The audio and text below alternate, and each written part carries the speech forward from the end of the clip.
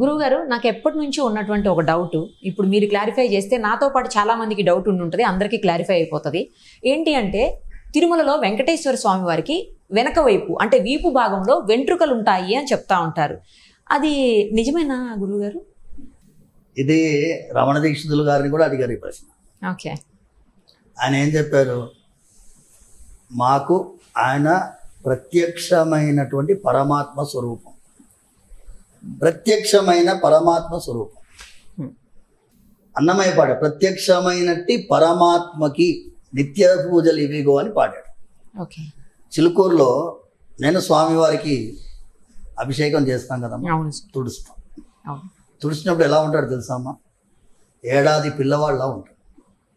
మెత్త మెత్తగా ఉంటాడు. భావగ్రాహి జనార్దనం. నీ భావంతో భగవంతుడు ఏకీభవిస్తాడు. ఓకే నిన్ను చూసి నవ్వుతూనే ఉన్నట్టుగా ఉంటుంది. కొన్నిసార్లు కోపంగా చూసినట్టు ఉంటుంది ప్రతిరోజు మేము సాయంకాలం స్వామివారి ఆరాధన జరిగిన తర్వాత మంగళారతి చేస్తాం. ఇది నేను కాన్ఫిడెన్షియల్ కానీ నీకు చెప్తున్నాను సార్ ప్రతిరోజు మంగళారతి చేసినప్పుడు నేను మంగళారతి చేసినప్పుడు చాలామంది గమనిస్తారు. ఆయన ముఖం ముందు కర్పూర నీరాజనం ఒక టూ సెకండ్స్ పెట్టి ఆపుతాం. ఆయన ముఖంలో చిరునవ్వు నాకు కనిపించాలి. ప్రతిరోజు కనిపిస్తుంది. సపోజ్ నాకు కనిపించలేదనుకో ఆ రోజు నాకు నిద్ర పట్టదు. ఒక నేను చిన్న మందహాసం ఉంటుంది. అమ్మయ్యా సంతోషం. అరే స్వామివారు నిన్ను చూసి నవ్వడం ఏంట్రా అని మీరు అనుకోవచ్చు. Hundred percent. మీరు ప్రతిరోజు ఆయన కోసమే ఆయన కోసమే ఉండేటటువంటి వాళ్ళు మేము రోజు ఆరాధన అప్పుడు స్వామివారికి ప్రతిరోజు ఆరాధన చేసేటప్పుడు మేము భగవంతుడికి మా శరీరము మా కుటుంబం అందరూ కూడా దాసులముగా ప్రకటిస్తాం. దాసోహం తే జగన్నాథ సపుత్రాది పరిగ్రహ. ప్రేష్యం ప్రసాది కర్తవ్యే మాం నియుంక్ష్వ హితే సదా. స్వామి దాసోహం తే జగన్నాథ. స్వామి నీకు నేను దాసుని సపుత్రాది పరిగ్రహ. నేను మాత్రమే కాదు నా ఇంట్లో పిల్లలు నా భార్య అందరూ నీకు దాసులు. ఏం చేయాలి నువ్వు? మమ్మల్ని నీకు నచ్చినటువంటి మంచి పనులలో వినియోగించు. అందుకోసమే ధైర్యంగా మునివాన ఉత్సవం చేశాం ఎవరు చేయగలరమ్మా? ఇవాళ నా గురించి విమర్శించే వాళ్ళని నేను అడుగుతాను. నేనేం ఫోటో ఆప్షన్ కోసం చేయలేదే? చేయలేదు అది? అది నాటకం కూడా కాదు.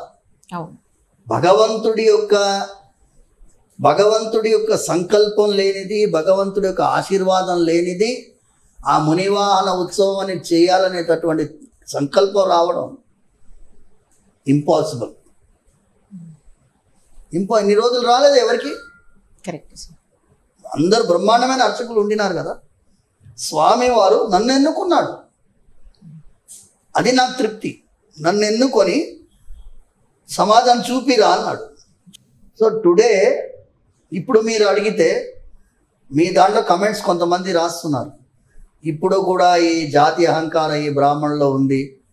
కమెంట్స్ కొంతమంది రాస్తారు. ఈ జాతి అహంకారం అనే వర్డ్ బ్రిటిష్ వాడు పెట్టిన వర్డ్ అది. మన సమాజంలో నేను చెప్పండి రామానుజ సాంప్రదాయం. థౌజండ్ ఇయర్స్ బ్యాక్ కదా? రామానుజుల వారు వెయ్యి సంవత్సరాలకు ముందు గోపురం పైకి ఎక్కి అందరికీ అష్టాక్షరి ఉపదేశం చేశారని ఒక గురు పరంపర ఉంది. వచ్చిన వాళ్ళందరికీ చెవులో ఉపదేశం చేశారని మా పరంపర. ఎలాగైనా కానీ భగవంతుడిని ఆశ్రయించడం కోసం ఆయన పాదాలని ఆశ్రయించడం కోసం మీ జాతి ముఖ్యం కాదు మీ కులం ముఖ్యం కాదు మీ గోత్రం ముఖ్యం కాదు. ఇది రామానుజుల సాంప్రదాయం. అన్నమయ్య పాడాడా? ఉమ్. బ్రహ్మం ఒక్కటే పరబ్రహ్మం ఒకటే అని పాడాడా? అన్నమయ్యకి గురువు గారు ఎట్లా ఉండాలి? మా ఆదివంశ శతకోప యతీంద్రుల వారు అహోబిల మఠాన్ని స్థాపించినటువంటి పీఠాధిపతి వారు. అన్నమయ్యకి గురువు గారు శిష్యుడే ఇలా ఉంటే ఆయన గురువు ఎలా ఉండాలి? ఆలోచించండి. కరెక్ట్ శిష్యుడు అన్నమయ్య. ఆయనకి గురువు గారు ఆదివంశ యతీంద్రుల వారు? ఆయన గురించి అన్నమయ్య పాడుతున్నాడు. ఇందరికీ బలము ఈ గురువు గారు అని పాడుతున్నారు. అహోబిలేషుడు గురించి పాడుతూ ఆ స్వామివారి ప్రియ భక్తులైనటువంటి ఆదివంశ శతగోపుల గురించి పాడుతున్నారు.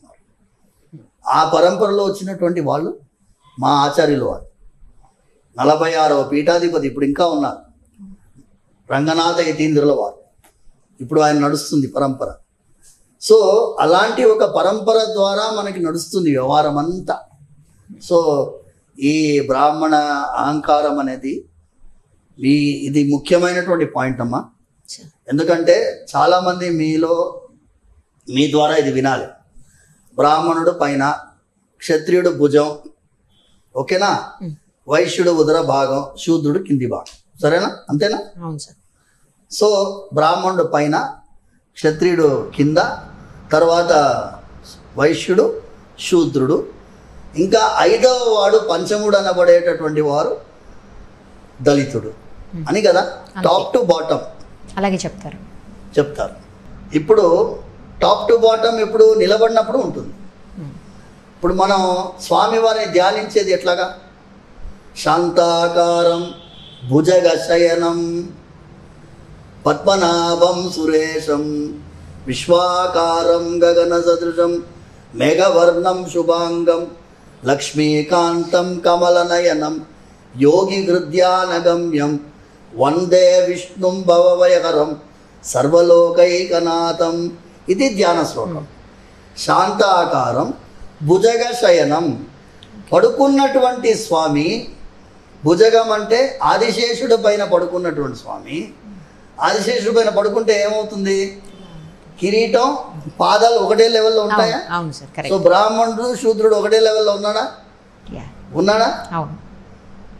ఇప్పుడు పైన కింద ఎక్కడ ఉంది ఇక్కడ? ఎవరి కర్మల ద్వారా వాళ్ళు స్వామివారిని ఆశ్రయించరా అన్నాడు రామానుజుల వాడు. మత్కర్మ పరమో భవ భగవంతుడు అన్నాడు పన్నెండవ అధ్యాయంలో. నా పని చేయిరా? అభ్యాసేపి అసమర్థోసి నా పైన మనసు పెట్టడానికి నీకు అవసరం లేదు కుదరడం లేదు మనసు నిలబడటం లేదు అంటే ఏం చేయాలి? మత్కర్మ పరమో భవ. నా పని చేసుకుంటూ ఉండు. నా పని అంటే ఏంటి? ఇవాళ అన్నదానం చేశాం. వాళ్ళు ఏంటి? అరే దేవుడు నాకు భోజనం కూడా లేదురా ఇవాళ అనుకుంటాడు వాడు భోజనం వచ్చింది అరే దేవుళ్ళ పట్టుకొచ్చారా నువ్వు అంటాడు అంటాడా నేను దేవుడిని కాదు దేవుడిలాగా తెచ్చారు. ప్లేట్లో ఇచ్చి సో భగవంతుడు ప్రత్యక్షంగా చేయలేనిటువంటి పని చేసేవాడు. ఆయన ప్రతిరూపంగా మీరు వెళ్తున్నారు కాబట్టి ఆయన సేవలో మీరు తరిస్తున్నారు. మత్కర్మ పరమో భవ. సో లాక్డౌన్లో ఈ మంగళం చేసేది ఆయన పాదాలని ఆశ్రయించే భాగ్యం అందరికీ ప్రసాదించాలి. సో మీ ద్వారా వెళ్ళాలి సుమన్ టీవీ ద్వారా. గురుగారు నా డౌట్ క్లియర్ అవ్వలేదు గురుగారు. స్వామివారికి వెనకాల వెంట్రుకలు ఉన్నాయా లేవా? అది భావనమ్మ. ఇప్పుడు నాకు నేను అదే అన్నాను. స్వామివారి స్వరూపానికి ఇప్పుడు మీరందరూ ఏంటమ్మా ఒక చిన్న మాట. ఆయనని రాయిలా భావించి రాయికి వెంట్రుకలు ఉంటాయా అని ఆలోచించడం కూడా మా పాపం అర్థమైనా మీకు సో మేము ఆ క్వశ్చన్కి మేము ఆ- ఆ భావనతో వెళ్ళనేకూడదు ఇప్పుడు నేను ఏం చెప్పాలి? ఆయన సాలగ్రామ శిలారూపం. ఆ శిలా రూపానికి వెనకాల వెంట్రుకలు ఉంటాయి అని కూడా చెప్పకూడదు. ఆయన వెంకటేశ్వర స్వామి. ఆయన శిలా కాదు కదా? ఆయన ఎవరు? వెంకటేశ్వర స్వామి. ఆయనకు అన్నీ ఉంటాయి. ఆజానుభావం అరవింద దళాయతాక్షం ఆజానుభావుడుగా ఉంటాడు. అందంగా ఉంటాడు. బ్రహ్మాండమైన కం కలువరేకుల వంటి కళ్ళు గలవాడు. అద్భుతంగా ఉంటాడు. వర్ణించుకుంటా ఉండాలి. వీళ్ళకి సమాధానం మనం ఏందమ్మా చెప్పేది? I don't need to answer those people who lot of questions to ask ఆ క్వశ్చన్స్కి మన ఆన్సర్ అవసరమే లేదు. ఆయన వెనకాల అన్ని వెంట్రుకలు ఉండొచ్చు. ఆయనకి మీసాలు ఉండొచ్చు. గడ్డం ఉండొచ్చు. ఏ భావనతో చూస్తే అలా ఉంటాడు. మీరు ఇందాక చెప్పారు కదా గురుగారు మెత్తగా అనిపిస్తుంది నాకు చేస్తుంటే మెత్తగా ఉంటాడు. తుడుస్తూ ఉంటే మేము పవిత్రం దారి ధరించడం కూడా తీసేస్తాం. పవిత్రం అంటే ఆ గడ్డి అది మన దర్భం. దర్భంతో కూడా తుడవం. తీసేస్తాం. తీసేసి చెవులో పెట్టుకుంటాం. అప్పుడు గమనించండి. ఓకే. స్వామి వారికి ఆరాధన చేసేటప్పుడు ఇవన్నీ మీరు గమనించాలి. అర్చక స్వామి ఎలా చేస్తున్నాడు? చందనం పెట్టేటప్పుడు ఈ పవిత్రం తీసి చెవులో పెట్టుకొని అప్పుడు చందనం పెట్టాలి. ఆ గడ్డితో కూడా ఆయనకి గీసుకుపోతుందేమో. అంత జాగ్రత్త పడాలి. ఎప్పుడు వస్తుంది అది? ఎప్పుడు వస్తుంది ఆయన ఒక పసివానిగా భావించి. మీకేంటమ్మా మేము పుట్టిన వంశం ఎలాంటి తెలుసా? స్వామివారికి పాలని రోజు మా ఎనిమిది వందల సంవత్సరాల తరం మా అమ్మ వాళ్ళ నాన్నగారికి నాన్నగారికి నాన్నగారు. నడాదూర్ అమ్మాள் కాంచీపురంలో కూర్చొని ఆయన పారాయణం చేస్తూ ఉంటారు రోజు సాయంకాలం. వరదరాజ స్వామి వారికి రోజు పాలు వస్తుంది. పాలు వస్తుంది తీసుకొని పోతారు. ఓ రోజు ఈయన కూర్చుని ఉన్నాడు గబ గబ గబా పాలు తీసుకొచ్చారు. అది వేడి వేడిగా ఉంది. ఏం తీసుకుపోతున్నారు అంటే పాలు స్వామివారికి టైం అవుతుందని పోతున్నాను. చల్ ఇక్కడ రా తీసుకురా అని చెప్పి తీసుకురా అని చెప్పేసి దాన్ని కింద పెట్టమని ఒక బట్ట మీద పెట్టి విసనగర్రతో విసిరా విసి దాన్ని చల్లార్చుకున్నాడు రెండు గిన్నెలో తీసుకొని. చల్లార్చి అప్పుడు పంపించాడు లోపలికి. లోపల నుంచి ఎన్న అమ్మావే అని వచ్చింది మా అమ్మవా నువ్వు అన్నట్టు. అందుకే ఆయన పేరు నడాదూర్ అమ్మాళ్ అని పేరు పెట్టారు. నడాదూర్ అమ్మాళ్ వంశంలో పుట్టినటువంటిది మా అమ్మ. సరేనా? సరే. సో ఆ అమ్మకి పుట్టినటువంటి వాడు నేను. సో మా డిఎన్ఏలో భగవంతుడిని ఎలా భావిస్తాం? పసిపిల్లవాళ్ళనే కదా భావిస్తాం. పసిబిడ్డలాగే. ఆ డిఎన్ఏ ఎలా ఉంటుంది? అది భగవంతుడిని ప్రత్యక్షమైనటువంటి పరమాత్మ. అలా భావించాడు కాబట్టి అన్నమయ్య పాడాడు. ముద్దుగారే యశోద ముంగిట ముత్యము వీడు. దిద్దరాని మహిమల దేవకి సుతుడు. ఆ ఫీలింగు ఆ భావన అందరికీ రాదు. వచ్చిన వాళ్ళని చూసి మనం అవసరం లేదు మాట్లాడదాం వచ్చిన వాళ్ళం మేము చెప్తూ ఉంటాం. మీకు కొంతమంది ఏమంటారు రాయుడు అనుకుంటాడు. ఏమని అనుకోని వాళ్ళకేంటి అంతే నాతో కనెక్షన్ ఎవరికి? వెంకటేశ్వర స్వామి వెంకటేశ్వర స్వామికి నాతో కనెక్షన్ నాకు వెంకటేశ్వర స్వామితో కనెక్షన్ సమాజం అంతా ఉంటుంది. ఇప్పుడు ఉండింది ముందు ఉండింది తర్వాత ఉండింది. నేను ఉన్నంతకాలం ఆయనతో కనెక్టెడ్ ఉండాలి. నేను ఎప్పుడైనా ఆయనతో కనెక్టెడ్గా లేకపోతే ఏమవుతుందో అని భయపడుతుంటాను ప్రతి యాక్టివిటీలో ఆయనతో కనెక్టెడ్ ఉండాలి ఇప్పుడు మీ ఇంటర్వ్యూ కూడా కూడా ఆయనతో కనెక్టెడ్ ఉన్నా. ఎందుకంటే ఆయనకు సంబంధించిన మాటలే మనం అవును. కోవిడ్ నైన్టీన్ గురించి మాట్లాడినా ఆయన కనెక్టెడ్గానే మాట్లాడతాం ప్రతి అంశంలో ఆయన కనెక్టెడ్ కావాలి. డిస్కనెక్టే కాకూడదు. చిన్న సెల్ ఫోన్ కూడా ఎవ్రీ నానో సెకండ్కి టవర్కి మెసేజ్ పెడుతుంది. మళ్ళీ రిటర్న్ తీసుకుంటుంది మెసేజ్. మనం తయారు చేసిన సెల్ ఫోన్లో కూడా సెల్ ఫోన్ టవర్కి కనెక్ట్ అవుతుంది టవర్ నెట్వర్క్ కనెక్ట్ అవుతుంది. కానీ మనం మనం తయారు చేసిన పరమాత్మ ఆయనతో డిస్కనెక్ట్ అయ్యడం వల్లనే ఈ కోవిడ్ నైన్టీన్ అంతా వచ్చింది. సోషల్ డిస్టెన్సింగ్ పాటించండి. భగవంతుడితో డిస్టెన్స్ కాకండి అది. సో త్వరలోనే మొత్తానికి భారతదేశం భారతీయులందరూ కూడా ఒక మంచి వార్తను వినబోతున్నాం అనటంలో ఎలాంటి సందేహం కూడా లేదనుకోవచ్చు కదా? Problems all problems will go covid nineteen will disappear like a water bubble నీళ్ళ బుడగలాగా మాయమైపోతుంది. Hundred percent. భగవంతుడిని ప్రార్థించి భగవంతుడిని ప్రతిరోజు ప్రార్థిస్తున్నాం కాబట్టి ధైర్యంగా చెప్పగలుగుతున్నాం. నిస్సందేహంగా. మా భగవంతుడికి సంబంధించినటువంటి ఎన్నో కార్యక్రమాల గురించి నేను చెప్తున్నాను. పోయిన ఏడాది ఒక క్రైస్తవుడు స్వామివారి సన్నిధికి వచ్చాడు. లూకాస్ అని పేరు ఆయనకి. ఇండియన్ అయినా స్వామి? మనవాడే. ఓకే. లూకాస్ అని పేరు. ఆయన తన అమ్మాయికి చదువుకి ఇబ్బంది అవుతుంది. ఎన్నో క్రిస్టియన్ మిషనరీస్ని అప్రోచ్ అయ్యాను నాకు సహాయం దొరకలేదు. మీరు అందరికీ ఏదో ఒక విధమైనటువంటి ఆశా జ్యోతిలాగా ఉంటున్నారు కాబట్టి మిమ్మల్ని నేను ఆశ్రయించినాను.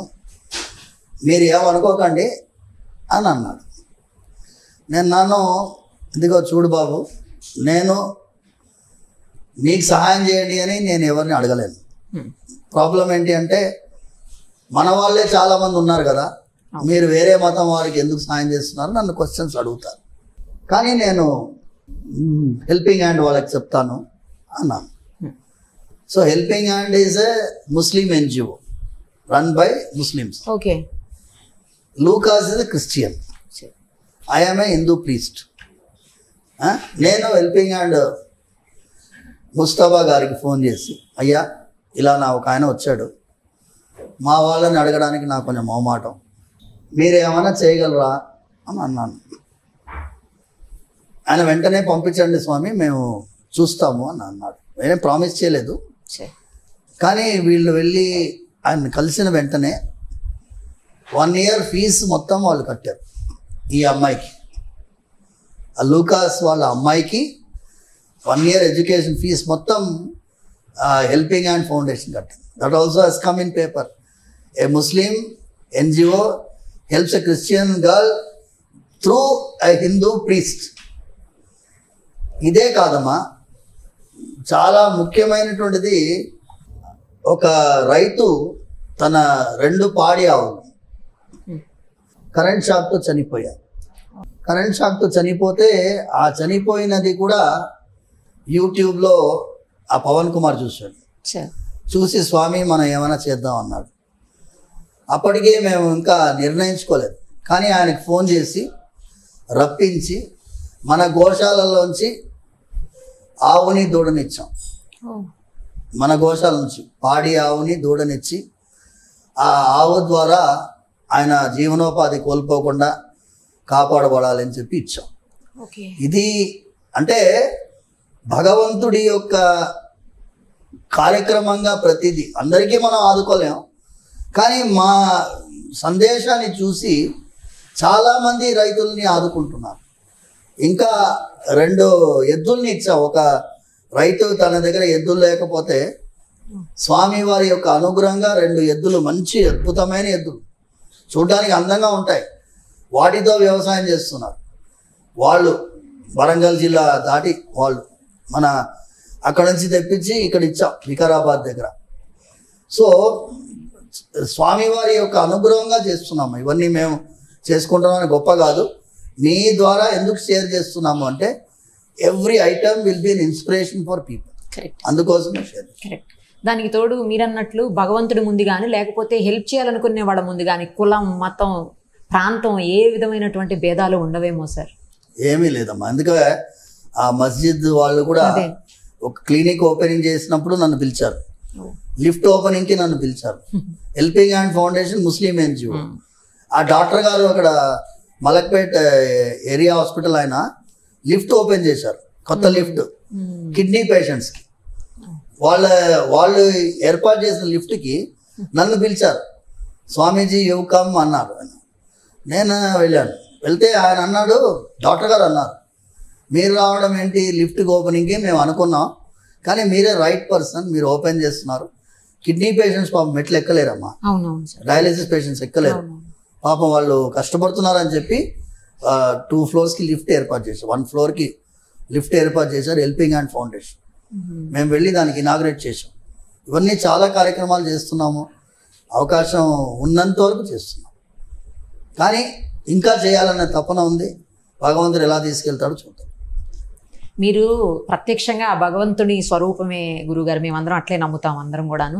సో మీ ద్వారా ఇంకా ఏమేమి చేయించాలని ఆయన అనుకుంటున్నారో అవన్నీ పూర్తి చేస్తారు మీరనే నమ్మకం అయితే నాకు ఖచ్చితంగా ఉంది. థ్యాంక్ యూ సో మచ్ గురుగారు. Thank you